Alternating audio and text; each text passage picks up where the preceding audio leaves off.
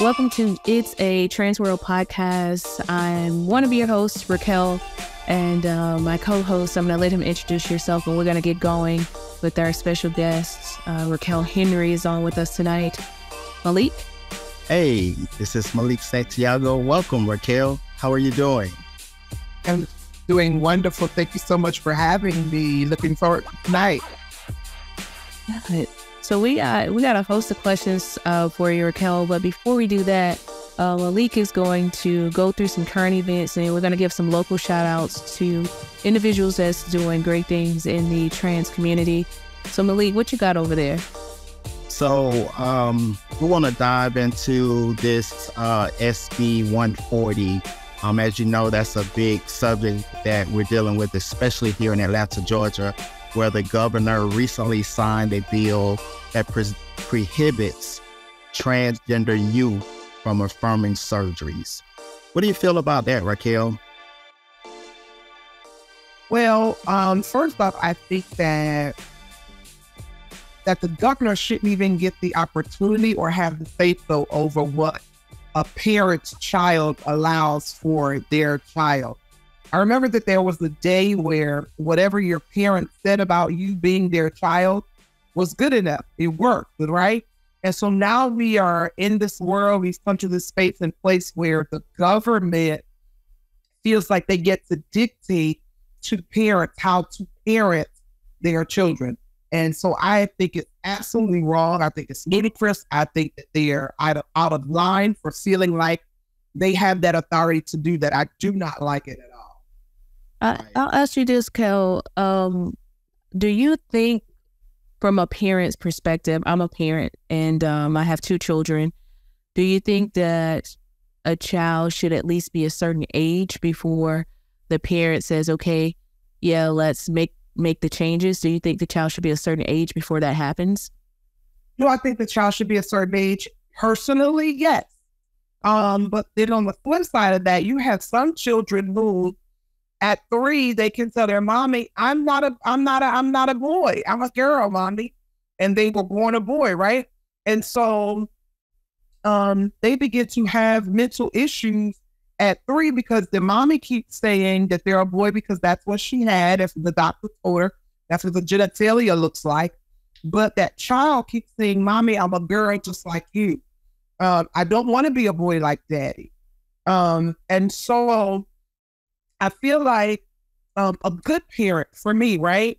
Uh, maybe they don't allow their child to begin to transition at three, but they uh, meet their child somewhere. Like maybe let their child wear panties possibly, or maybe let their child go with them to the nail salon and get their nails done and get their feet done.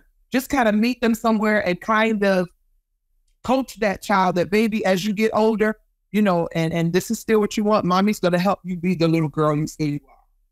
Yeah, I, I agree with that. I think that before there are any medical procedures done, a child should be a certain age. Number one, I think mm-hmm. as a parent, it's um, our job to nurture, right? Nurture what the child feels, um, and and what you see, because I think we see it too. It's not even you know just what the baby says, right? We can see it. We know if we are looking at a little boy, a little girl, um, and and the one thing about children is they they don't necessarily identify with gender at that age.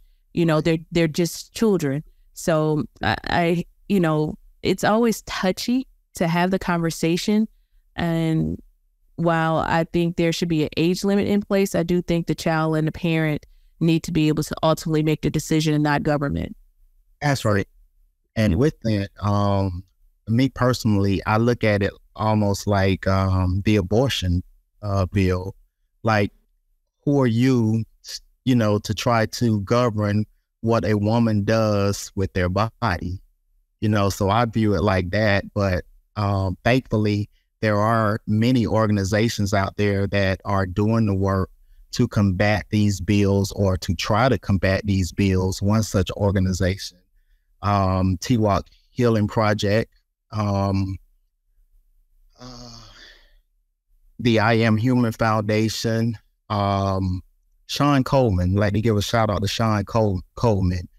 Him and Alex Santiago. They are out there doing the work for Destination Tomorrow, um, fighting bills, meeting with uh, government, meeting with mayors, and getting things done. So I like to shout those organizations out and those people. Another person, Sebastian Smith. He's a he's the people's voice um, for combating bills. Um, so I just wanted to give those shout outs because we need these people. We need advocacy out here for these different bills for combating government trying to run our households. Right, right. I couldn't agree more. Um, and every every every show that we have, guys, we will highlight something that's going on in the trans community um, and giving flowers wow, people can still receive them. Uh, there's no place I'd rather be than right here telling these stories, real stories by real people Raquel, we are going to kind of switch gears a little bit and ask you some personal questions because the one thing that we've learned in the process of filming Transworld Atlanta, which is our new TV series, is people are so uneducated about gender, about um, identity as far as sexuality. So we want to try to educate those who are willing to learn, especially uh, for those parents that are struggling with it, right? Or those siblings or those friends are struggling with why is my brother, why is my sister now trans or non binary for that matter. Um, but before we get started, know that we lead with love on this show, and this is a safe place. We have lots of conversations, or we will have lots of conversations around love, mental and physical health, health, and being able to support each other in our communities. Um, these topics are not just topics that we want to know, but topics that we've been able to gather from individuals. So today with Raquel, we want to talk about your transition, right? Your personal experiences with family, with friends, and and what was your journey as you transitioned?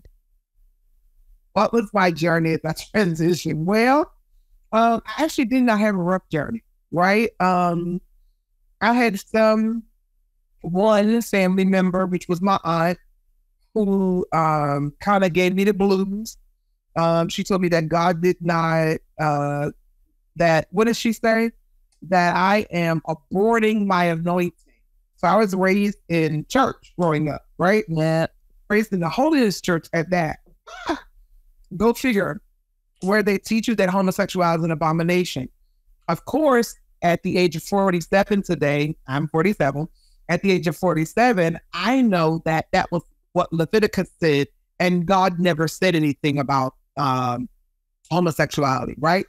And so growing up, I always felt like a girl, right? I used to think that maybe because my grandmother had four daughters, there were no men in the family. So maybe I used to think that it's because I was around that but girls. But then I had older guy cousins. And on my dad, dad's side of the family, there was a whole lot of men. So that wasn't what it was. Um, at the age of 15, I had a mental breakdown and found out that I was born with a hormonal imbalance. And so I grew breasts like young girls do when they're young. And so hold, t- hold tight, Raquel. I want you to keep that thought, but okay. I want us to be very clear that Raquel was born male. Raquel is a trans woman. So right. I don't know if we really identified that. And we should have, especially for those of you that are watching and not just listening to the show, but you're actually watching. It's a trans world podcast. Raquel was born male and she is trans. So I just want to give you some clarity if you're a little confused, if you're watching. Okay, Kel, go back into it. Oh, well, yes, I am trans. Born my mother's son, but I am my mother's daughter. Um, so, um, like I said, I was born with a hormonal imbalance, and we found that out um, at the age of 15 when I had my first mental breakdown. And my mental breakdown was surrounded with me dealing with my sexuality. Um, and um, so that's where my breast came from. I, I never had breast augmentation like that. And so for me, I remember um, saying to my grandmother, I'm talking about my mom's mom, uh, we were standing at the sink and we were cleaning chicken. and um, my grandmother says, You know that we love you and you know that you're the life of our family and all that kind of stuff. She said, But do you have to be a girl? And so I said, Well, Grandma, can I ask you a question with your question? Normally, you know, you're taught not to ask the question with the question, you're supposed to answer it. But I knew that me asking her a question would probably change our conversation. And so I said to my grandmother, you know, when I was growing up, you know, you would put all of my cousins and siblings out when you were getting dressed. I said, if you wouldn't put me out and I would ask you questions about your foundation. And so those who don't know what I mean by foundation, I'm talking about her girdle, her bra, her undergarment. I said, and you would answer them. I said, and why didn't you put me out? My grandmother's response without thinking was, well, it felt like you were supposed to be there. Well, we went back to cleaning chicken, needless to say. and we never had another conversation about it. Um, my dad's mom, on the other hand, um, uh, she we were watching. I don't know if any of you remember, but uh, Sally Jessy Raphael. Absolutely, absolutely. Wear the red Legendary. yeah, yeah. And Sally, Sally Jessy Raphael was talking about she had little boys on her show who felt like that they were girls. And um, my grandmother said to me, if you ever pull that shit, I mean, excuse me, can I cut from here? You, hey, we're wide open. Go ahead. Um, and I got to say it like that because my grandmother used profanity. That was how she talked, right? and so my, and this is my dad's mother I'm talking about. My grandma, Orly Jones, God rest her soul. My grandmother would say, you ever pull that fucking shit, I'm going to disown your ass. You know, right? And so normally when grandma was speaking, kind of jolt you, but this time I wasn't jolted. I was almost intrigued with what she said. And I'm sure it had to be maybe at least a month later that I went to grandma's house and I said, Grandma, I'm gay. And my grandmother's response wasn't what she said it was going to be. My grandmother then said to me, You make sure you respect yourself and make sure others respect you. And as long as you do that, you'll be fine because you're my grandchild and the fucker out there don't mess with you. I want to go back to something you said. Um, you said that your m- mental breakdown was um, it attributed to you dealing with your uh, sexuality, right? Mm-hmm. And you also said that um, you have um, you grew breasts, right? Mm-hmm.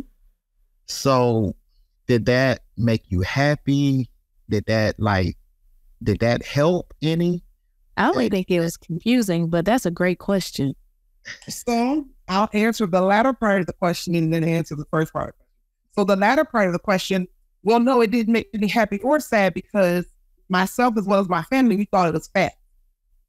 Okay. And then from thinking it was fat, we thought that maybe I had gynecomastia because I was thick, but I wasn't a fat fat, you know, when I was younger. And so um, having a mental breakdown, they run all kinds of tests on you, do all kinds of blood work, and they put all these leads all over your body and on your brain and everything. And so running all the tests, that's when we found out that this was actually breast tissue. And it wasn't gynecomastia, but it was breast tissue. And so um in my when I begin to transition, oh yes, I was happy. I had breasts. I was happy. You gotta pick your but that was on the wall, and that was it. so, um, so yes, it made me happy then. Um, so were you ever confused with that? No, because well, she knew. Again, I thought it was fat. So you thought it was fat. We didn't. It wasn't a thing like, oh my god, what's this up here? No. As I was growing up, they were growing, and so I thought nothing of it. And I, I didn't put them in no bra, so I didn't know how good they could actually look. So I didn't, you know, so no, I didn't, it wasn't about a, a um, confusing thing. It wasn't about something was wrong. Um, I became sexually active at an early age. And so boys would suck on them. Um, and I thought that was sad. But I they would think what? They would That's yeah, would suck on them. You, you heard me, sir. Um, they would suck on them. And um, others that was just fabulous. I, and even then, it wasn't the thought of like, oh my God, I got breasts, you know, I got titties. As people say, I don't like to call them breasts titties because I believe pigs had titties. Anywho. Um, so I didn't, that wasn't something that I relished in. I've never been the kind of person that relished in my privilege, right? Privilege. Why you say privilege? It's called trans privilege. Like, so I didn't even know that there was a such thing that I was navigating life with. You know, so I was navigating with trans privilege because of the way that I look. We'll grow facial hair. I don't have masculine features, and you know, um, I don't talk deep and um aggressive or authoritative. Yes, but talk deep and and you know, so I I didn't experience any of those things. So I was navigating through life um with no issue. I was navigating through life being the girl that I am, and even before I transitioned, um, those who I went to school with, right, used to say to me, "What is taking you so long?" So when I transitioned in my little town, uh, Atlantic City, New Jersey, it's not six miles wide or or deep, um, wide or long um, people were just like, it took me long enough. And so being a hairstylist, it was kind of easy for me to transition because I was a hairstylist. So I just let my hair grow. Uh, and then when I found out I didn't have to let my hair grow, that I already fishy or cut looking, when they cut my hair off. And, you know, still, you know, was able to get through. So yeah, it, it wasn't it wasn't a bad transition for me. It it just it just wasn't. If I could say that anything that mm, that mm, I don't even know to say that it really bothered me, right? But if I were to say that I had an episode that um kind of upset me was we had a family cookout one time. This was the first time that I decided to wear a shirt in front of my family. And my aunt was going around my grandmother's house saying, You see your cousin in the skirt? Saying to all my cousins, You see your cousin in the skirt? You see your cousin in the skirt? And my grandmother, I'll never forget it. My grandmother called her by her name. Um, and uh, my grandmother said, Well, my, my, my grandmother called her by her name. My aunt said Sheila Christine. And she said, um, What, mom? Y'all allow him? She said, Uh uh-uh, uh leave my grandbaby alone. My aunt said, Well, mom, you did it. She said, Leave my grandbaby alone. And that was kind of the end of it as far as me going through with my family. I'm going to I'm going to kind of go back a little bit because I think it's important for us to talk about mental health. Um, okay. We know that mental health is has been a huge challenge, not just in our communities in the LGBTQIA community, but also just across the country.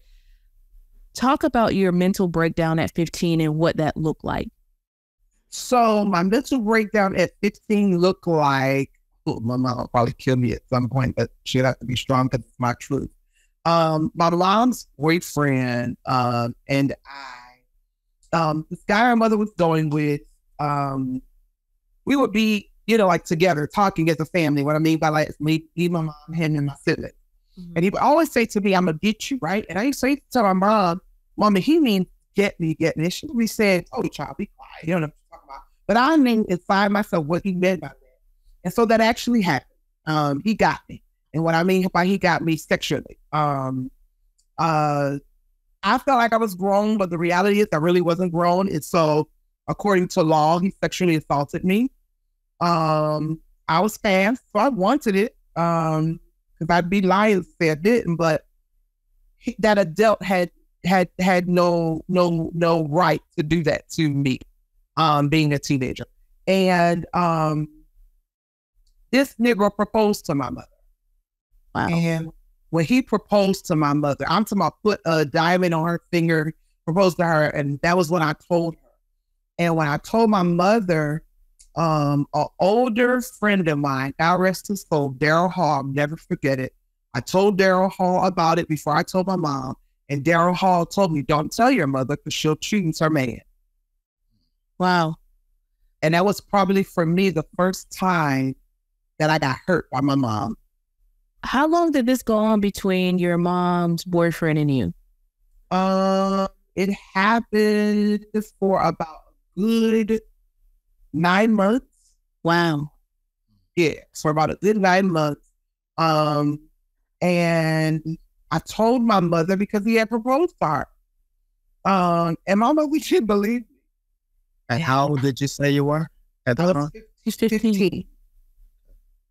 And my friend Daryl told me, because uh, I always had older older friends. My my friends were older. I was I've always been um beyond my years. My grandmother's always called me old soul, and so children my age weren't um weren't uh they did move. I, what's the? What's the word I'm looking for? they weren't appealing to me, for lack of a better word. Um, they were interest interesting to me. So I always hung around older people. And Daryl was um, an older uh, gay guy, homosexual man.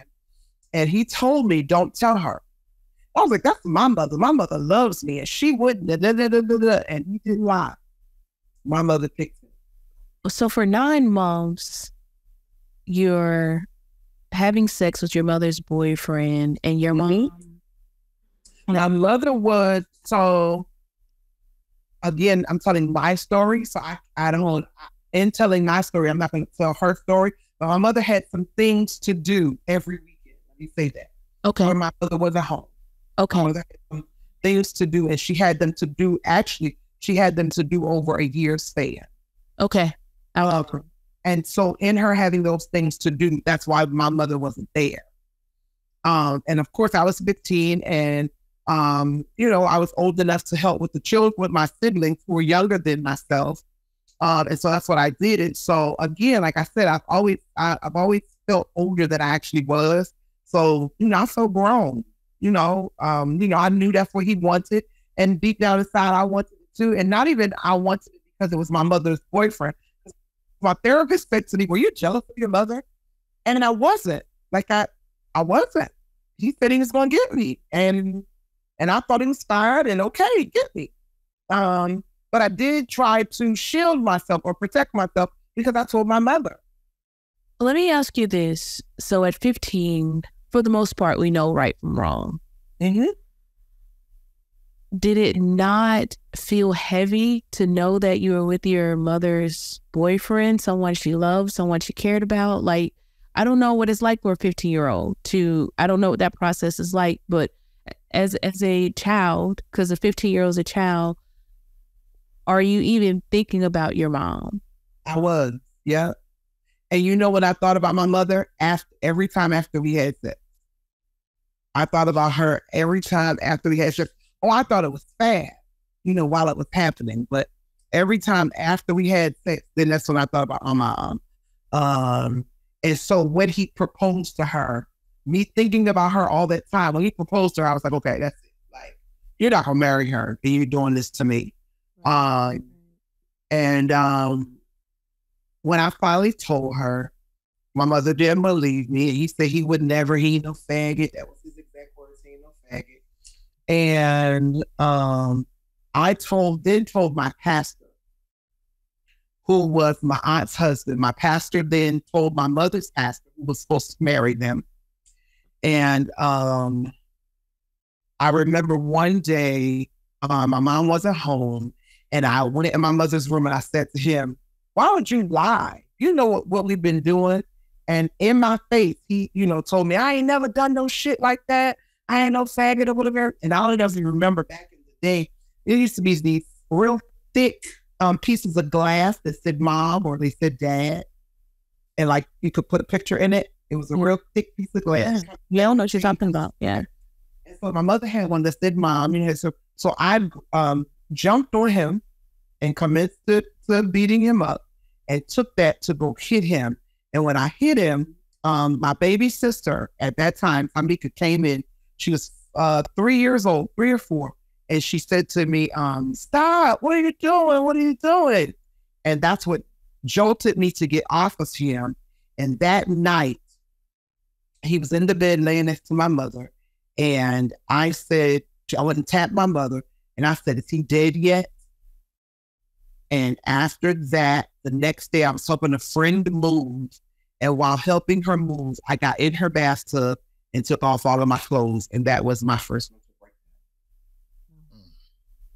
Now you said first, first mental breakdown. Yeah. Mm-hmm. There were others? Three. I had four in total. How old were you in these different, during these different times? 15, 17, 18, and 19. Wow. And did all of them, um, did they come about because of what you had dealt with or your sexuality or? So they all stemmed from my sexuality, but after that first one, that was a done deal with him. You know what I'm saying? And so I, again, I like I said to you earlier, I was raised in the holiness church. So we would have what you call uh, revivals, and a lot of times the revivals turned into deliverance services. Oh. And so, of course, you know, I would go to the altar to get prayer to be delivered from homosexuality. And um, we'd have a good revival and, you know, I'd be at the altar, get prayed for, and bam, I'm delivered again. Um, unbeknownst to me, it was my emotions. It had nothing to do with being delivered. It was my emotions. And so they put the mic in my hand, tell the church what the Lord did for you. And I would say that God delivered me as church would get excited. They just you know, get on, get excited, run around the church and so on. And at that time, um, you know, I was a hairstylist. And so I started buying female clothing. Um, so by the time I was 19, um, and I got delivered again for the last time, um, I would give away my clothes to the women at the church. Um, and so each time that I had a mental breakdown, I was mentally institutionalized. Um, I was on medicine from the age of 15 till I was 27. Um, lithium, for anybody out there who knows what medicine is, um, I was on lithium, Haldol, Cogentin, and Zyprexa. Of course, we all know what medicine is, but the kind of medicine. right, right, right, right. I was on lithium, Haldol, Cogentin, and Zyprexa. And the medicine would have me so lethargic sometimes. Wow. I would know what day it was. I could be sitting and I could be drooling from the mouth and wouldn't know it. Mm. So, what does support look like um, when you were going through those breakdowns? What does support look like from your family? Support looked like my mother had to get in counseling, and she did because at the end of the day, um, despite her loving her man, I was her child, and and now something happened to her child. Um, so at the age of fifteen, my mother got in counseling with me. Um, counseling that looked like uh, family sessions, and then she she had to go herself. Mm-hmm. Um, uh, support looked like my grandmother. Um, looked like both of my grandmothers. Um, support looked like my family rallied around me, like because they really, my family really loved me. Um, and so here it was. I was going through something medically. Now it wasn't. It wasn't for them. It wasn't about the sexuality piece. You know, it was about that, you know, uh, for my aunts, my nephew, for my grandmother, my grandchild, um, my grandson is on medication. And, you know, we know this baby to be intelligent. We know this baby to be strong willed, strong minded. And so um, they they all rather so much so that my community, and I mean my community, so the neighborhood I lived in, they all rallied around. I remember one time having a mental break and I was in the middle of the parking lot, and Tayrisha Moore, I'll never forget it. She'll always be my good girlfriend. Tayrisha Moore came outside our door, and she was like, "If you don't get the hell up off this ground, do you know what you're doing?" She's like, "I'm in these tight jeans. Get up. Why? What are you doing? Why are you letting this happen to you? Get up, get up, get up." Um, and so my community um loved me. So I was supported. I, I cannot say that I didn't have support because I did. I had support like none other. I sang so I was very popular in my city. Um, so everybody knew me. Um, and so there were nights that I would be out three, four, five o'clock in the morning walking the street, and the police would get me, put me in the car, and take me home because everybody knew me. I think one of the things, one of the things that we are not used to hearing or accustomed to hearing um, is how family, friends, community rally around you because what we see mostly is children become homeless.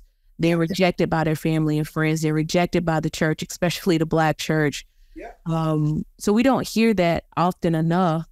And I don't know if it's because it's not happening often or we just don't get to hear those stories, but it is very rare just being where I am in life to hear someone say, you know what, my family rallied around me. My family loved me through. They they walked this journey with me. So often, individuals of trans experience, um, lesbian, whatever, right? They're, they're walking it by themselves, and the only help they have is a friend that's probably not doing the right thing themselves, or an influence that's trying to help them and telling them what they know. But the reality is, they're not doing things the right way. So I think it's important that people know that all families aren't their children, you know, their siblings.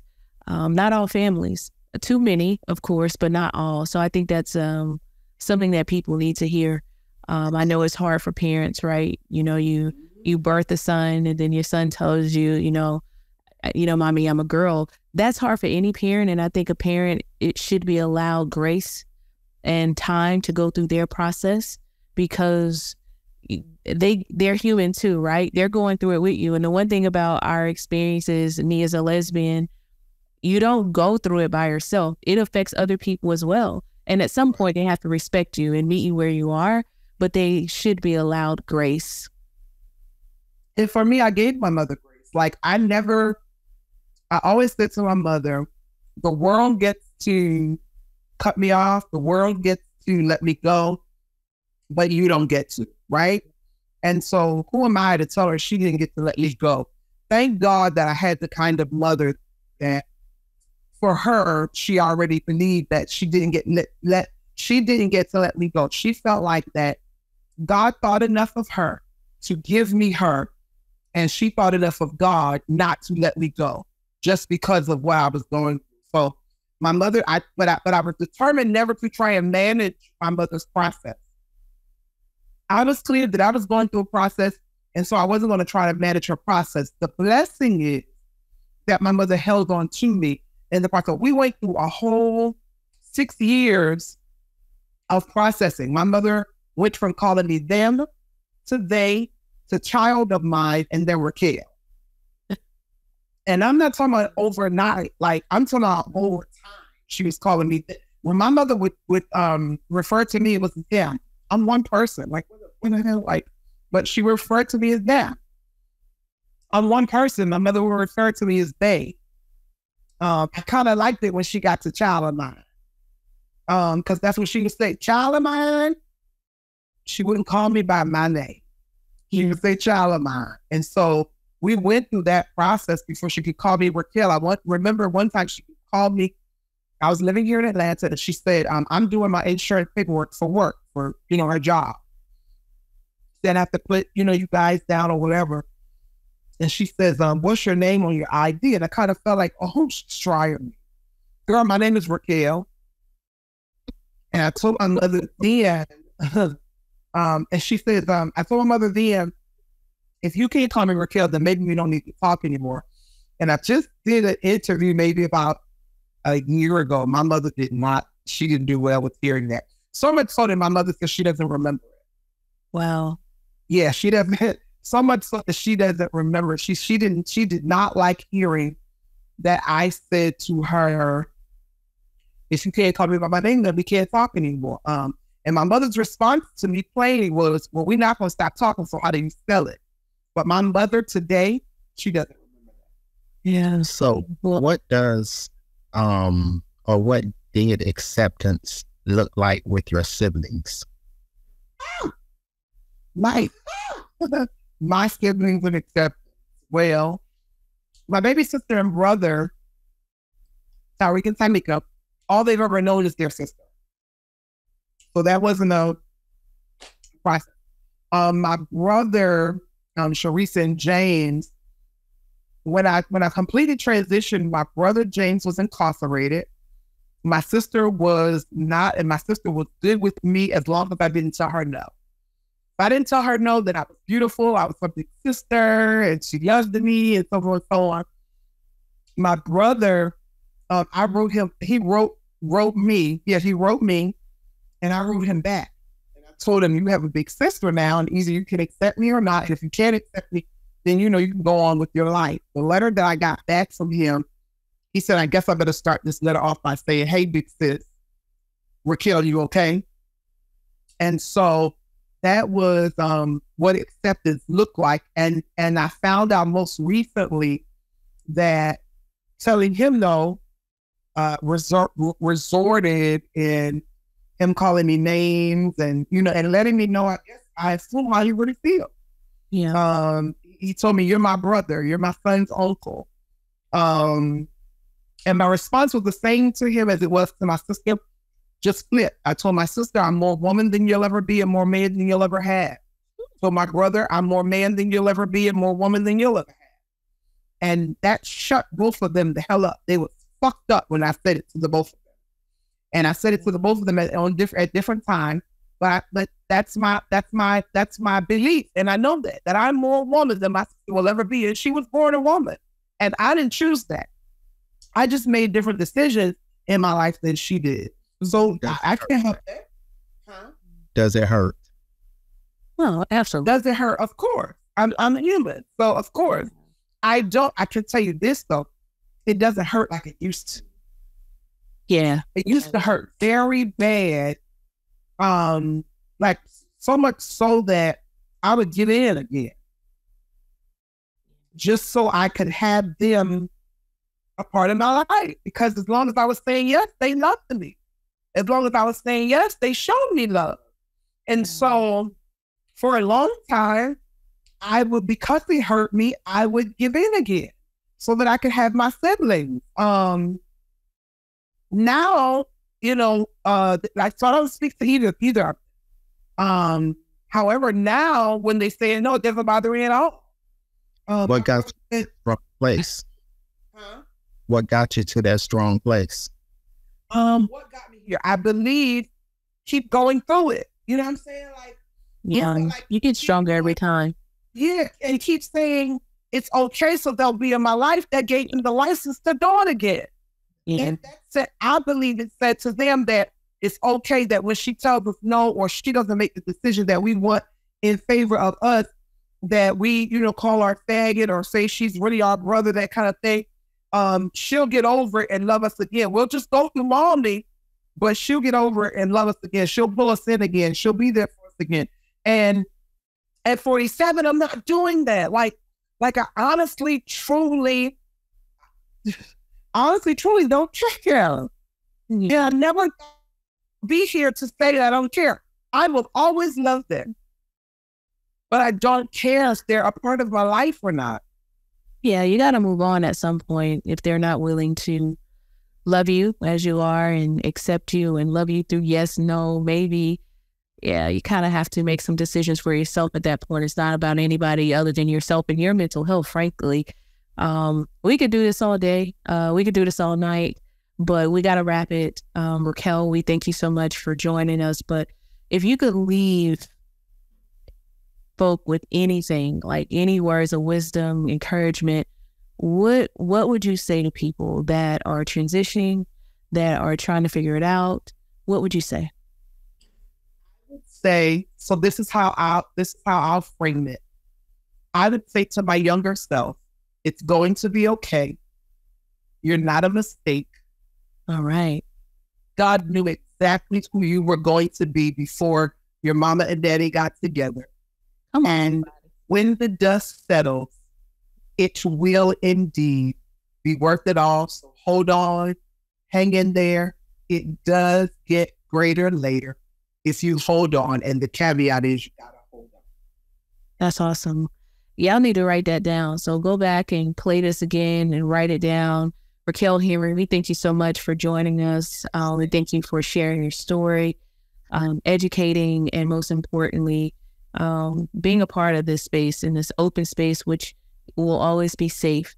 Um, we're gonna start preparing to close out, but before we do that, Malik is going to go over some sponsorship um, for those of you that are considering um, sponsorship or looking for sponsorship. Malik is going to go through that really quick before we close out.